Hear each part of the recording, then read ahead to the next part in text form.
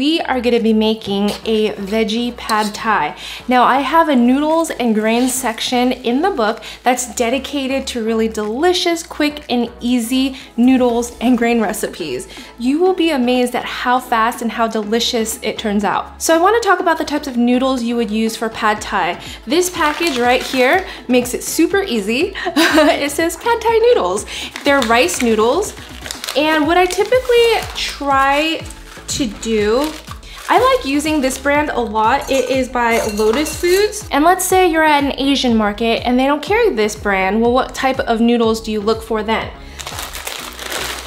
There's plenty of different brands of rice noodles. This one is really good. It tends to break apart though, so my favorite one is actually this brand with the three ladies um, the rice sticks and I typically look for a large size, one that would be comparable to, let's say, a linguine. They didn't have the Three Ladies brand in size large, so I got an extra large just to show you, but honestly for pad thai, you can use anything from medium, large or extra large if you like the noodles kind of thicker, which I do too. So to prepare noodles for your pad thai, you don't want to cook the noodles because then it gets mushy later when you stir fry it up. What I like to do is just add the noodles into a bowl and then submerge the whole thing in hot water. I already boiled off the water, so I'm just gonna pour it into the bowl. It'll take a minute to get the noodles nice and pliable and once it does soften up, just submerge the whole thing so that each strand is completely underwater and then let it sit for about 10 minutes to fully soften. So while it's soaking, let's work on our pad thai sauce. So pad thai sauce is a mixture of a few ingredients that you might already have in your pantry. Um, it's a sweet, salty, tangy sauce that's just perfect when it's mixed with the noodles and the vegetables. One ingredient that I actually use quite a few times in the book is tamarind. Tamarind is a fruit that comes in a pod like this and it is very sour and sweet at the same time. It's sticky like this. Mm. And it's used in a lot of Southeast Asian cooking. Now, when I wrote the recipes, I was using a block like this that I got from the Asian market.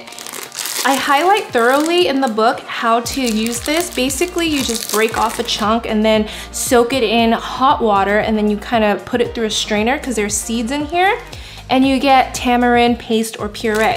Right after I finished writing the book, I discovered that they actually make tamarind puree already in a jar like this. So if you go to any specialty stores or even Asian markets now, you can find tamarind puree or sometimes called tamarind paste that's already done for you so you can just buy that. But making this is really, really easy too. And I show you how to do all that in the book. Getting back to the sauce, all we need are equal amounts of brown sugar, fish sauce, oyster sauce, and tamarind puree, in which I use two tablespoons of each. I'll add them all to a bowl and just mix them up.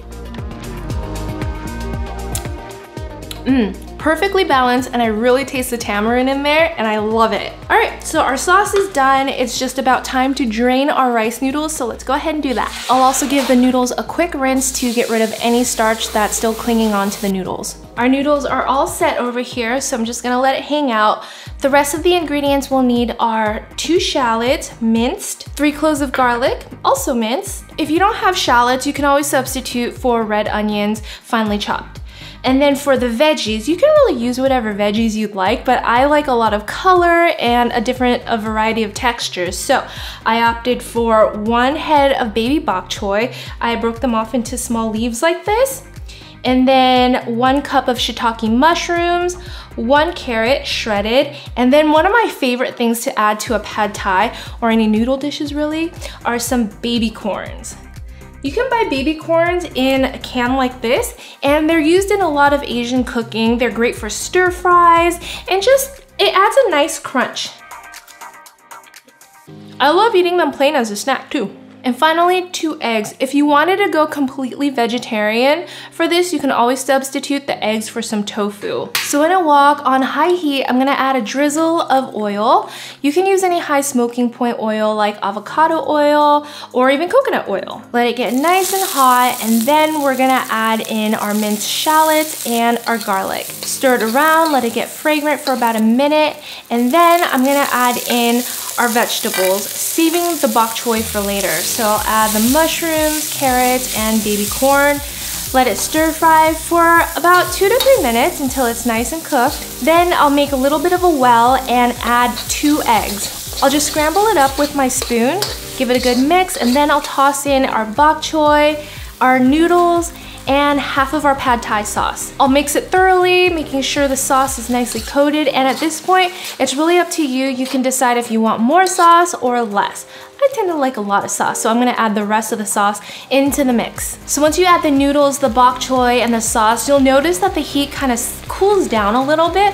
What I like to do is let the heat go back up to temp and then you'll notice that the sauce starts to boil and that's when the noodles will finish cooking and absorb the sauce and they will all become one. So two very important components that I like to have in my pad thai are of course bean sprouts and peanuts.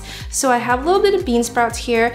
You can generally mix it in with the pad thai once it's off heat, but I like adding it fresh so that it maintains the crunch. Sometimes the steam ends up cooking it so it gets a little soft. Add it right on top and then sprinkle some peanuts.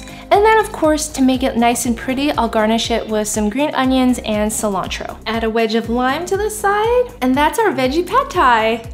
I always love squeezing a generous amount of lime on top just to bring out that tangy, sour flavor, because I love sour things. So I'm gonna go ahead and do that.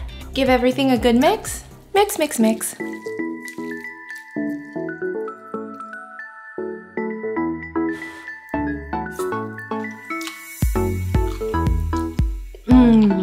That sauce is so mm-hmm. good. and the noodles are not mushy at all because we soaked it and then we rinsed all the starch out.